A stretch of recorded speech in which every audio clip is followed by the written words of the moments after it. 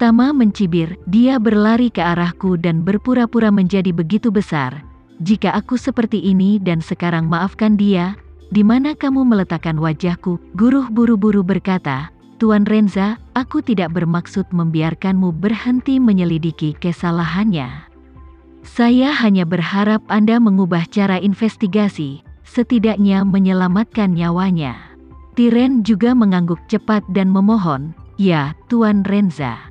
Selama Anda bisa menyelamatkan saya dari kehidupan seekor anjing, aku tidak punya apa-apa untuk dikatakan tentang apa yang kamu ingin aku lakukan.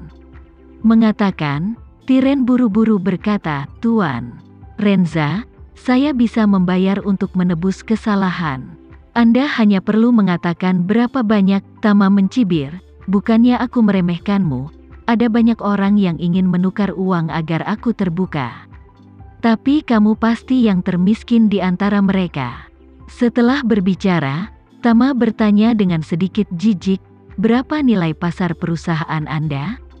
Tiren ragu-ragu berkata, hampir 3 miliar dolar Hong Kong, Tama berkata dengan jijik, dikonversi ke dolar AS, itu hanya 400 juta dolar.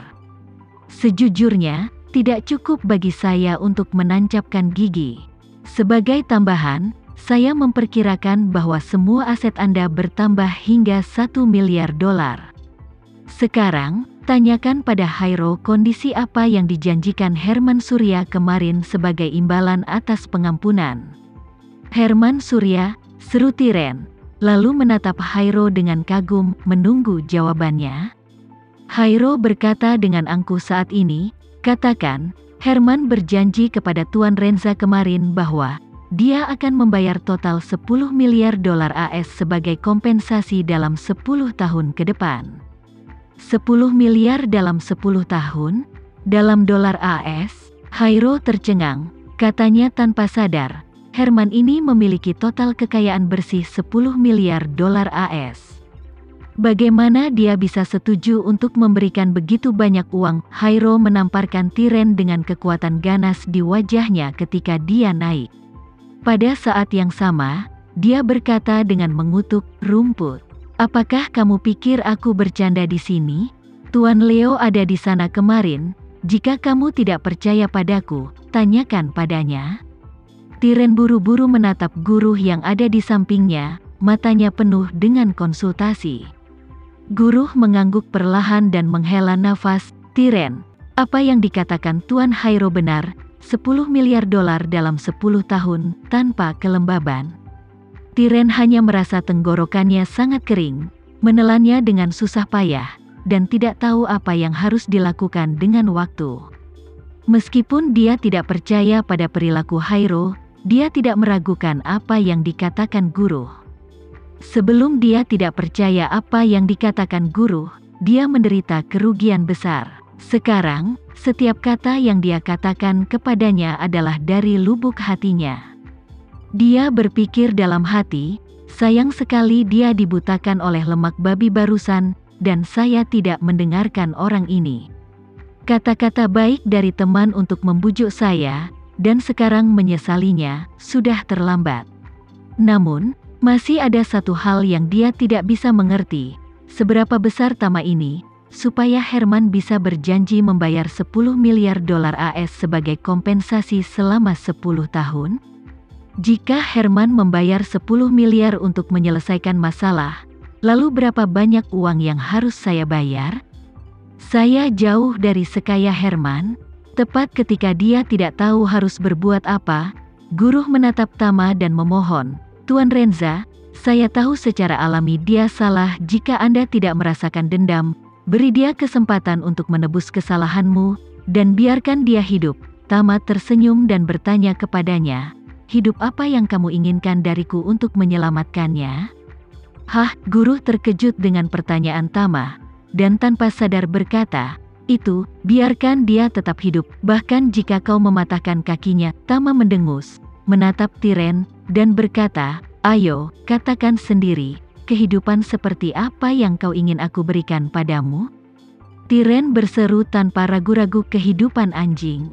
Selamatkan aku kehidupan anjing, Saya mohon Tuan Renza untuk mengangkat tangan Anda dan menyelamatkan saya dari nyawa seekor anjing. Tama mengangguk dan berkata, karena Tuan Leo juga bersyafaat untukmu, bukan tidak mungkin kamu ingin aku menyelamatkanmu dari kehidupan seekor anjing. Demi suasana hati yang baik, aku akan memberimu solusi. Setelah itu, dia mengingatkannya, dengarkan baik-baik, saya hanya akan memberi Anda solusi ini, jika Anda setuju, itu saja untuk hari ini. Jika Anda tidak setuju, masalah ini akan ditangani oleh Hairo. Tiren terkejut dan senang ketika dia mendengar ini, dan berkata, Tuan Renza, jangan khawatir, aku pasti akan setuju. Tama melambaikan tangannya, dan dengan samar berkata, jangan setuju sepagi ini. Ketika saya selesai, beritahu saya apakah Anda setuju atau tidak. Tiren buru-buru berkata, tolong beritahu saya, Tama meliriknya, lalu menunjuk Hairo dan berkata, Anda harus menyusun dokumen sekarang dan menjual perusahaan hiburan Anda ke Hairo dengan harga 10,000 dolar Hong Kong. Mulai sekarang, kamu tidak diizinkan masuk ke industri hiburan. Apa? Tiren langsung pingsan dan berkata, ini adalah setengah kerja keras hidupku. Tama mengerutkan kening, Maksudmu kau tidak mau menerimanya, guru cemas saat ini, dan berkata, Tiren, kamu masih peduli tentang itu ketika ibumu sekarat. Apakah itu sesuatu di luar tubuhmu? Tuan Renza hanya ingin perusahaan hiburanmu, dan dia tidak meminta Anda untuk menyerahkan semua aset Anda yang lain. Kenapa harus ragu? Tama memandang guru dan berkata dengan sangat serius, Tuan Leo, saya tidak suka mendengar apa yang Anda katakan. Mengapa saya menginginkan perusahaan hiburannya? Sebuah perusahaan dengan hanya 2 atau 3 miliar dolar Hong Kong, saya hanya merasa sangat puas dengan penampilan Hairo hari ini, jadi saya ingin memperjuangkan sedikit keuntungan untuknya. Seperti yang saya katakan barusan, saya memintanya untuk menjual perusahaan hiburan ke Hairo, dan saya sendiri tidak akan mengambil uang, Guru mengangkat tangannya dan menamparkan dirinya sendiri dan berkata dengan penyesalan, Tuam Renza, tenangkan amarahmu, itu semua karena kata-kataku yang tidak pantas.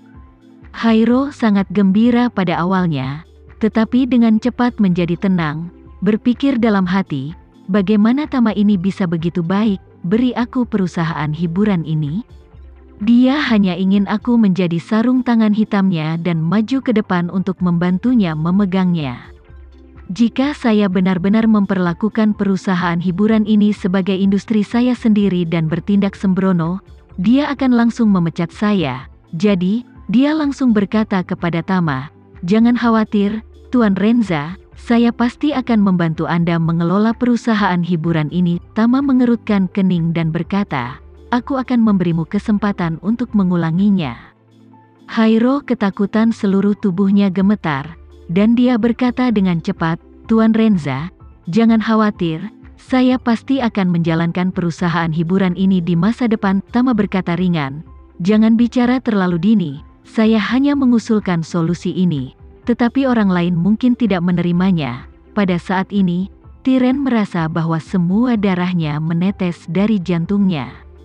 Bagaimana saya bisa melepaskan fondasi yang telah saya kerjakan dengan keras selama setengah hidup saya?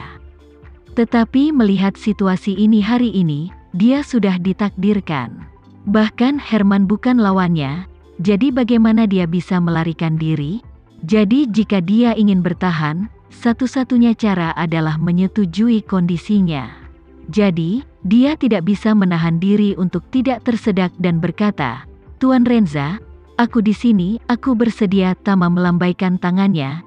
Jangan katakan ini padaku, aku tidak ada hubungannya denganmu. Meskipun kamu mempermalukanku berulang kali hari ini, aku tidak pernah menyentuh satu jari pun darimu. Jangankan meminta satu sen darimu. Masalah hari ini adalah semua urusan pribadi antara Anda dan Hairo. Dia dipanggil olehmu. Jika Anda bersedia menjual perusahaan hiburan Anda kepadanya, itu juga atas kemauanmu sendiri. Jadi kalian berdua menemukan tempat untuk menangani masalah ini. Aku tidak ingin terlibat di dalamnya.